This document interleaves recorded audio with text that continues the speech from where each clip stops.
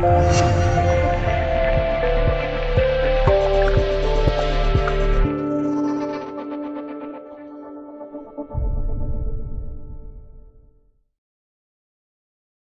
海申花目前正在准备中超二次报名大名单的相关事宜，因为根据上海相关足球媒体报道，申花将在二次报名的时候给五名 U 幺九小将报名，有新人进入中超一线队报名，就得撤下原有的边缘球员腾出位置。首先被撤下名单的是中卫毕金浩，毕金浩在经历了一次大伤之后，需要很长一段时间的静养。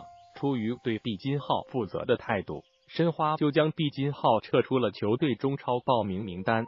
希望毕金浩能在下半赛季好好养伤调整，争取在下个赛季能上演王者归来的好戏。跟毕金浩情况相似的还有老将陶金。陶金这么多年为申花南征北战，也是立下了汗马功劳。浑身是伤的陶金需要彻底摆脱伤病困扰。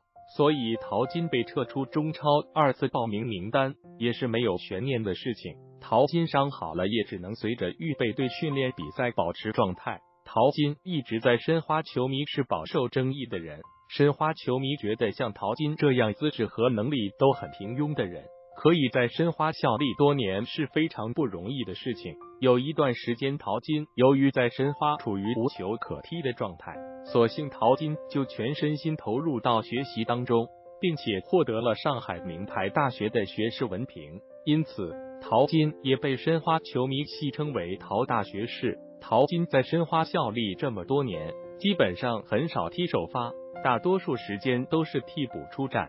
可看似文弱的淘金也有暴躁的一面。申花功勋主帅布拉泽维奇在接手球队之后，掀起了青春风暴，所以像淘金这样中生代边缘球员就受到了布拉泽维奇冷遇。一直对老布安排自己打替补中卫不满的淘金，一直也是憋着气。有一次中超联赛，申花主力中卫因伤下场。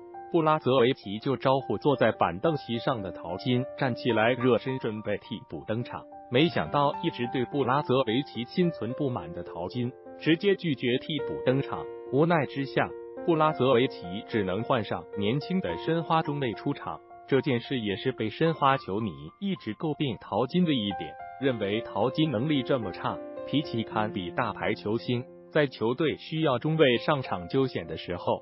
他拒绝上场的行为很不职业。好在随着时间，淘金在申花成为了一名任劳任怨的老将。除了毕金浩和淘金撤出报名名单板上钉钉之外，像吕品和王林都存在被撤下报名资格的可能。